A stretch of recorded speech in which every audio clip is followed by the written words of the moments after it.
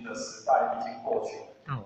二十一世纪是团队的时代，没有团队你很难把事情做好、做大、做圆满。所以一定要善用团队。那我们现在的模式叫做团队模式，所以不要跟大多吵。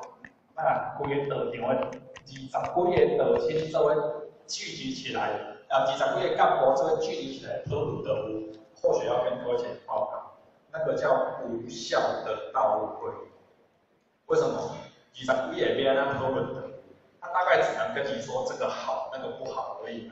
二十几个讲公共文件，要真的别说，怎么真的讨论讨到很难，所以还是要善用小组。的道路会议，去把事情完成的送到中心啊，送到地方比较高阶层的道路会议去裁决要做或不做，这样最快。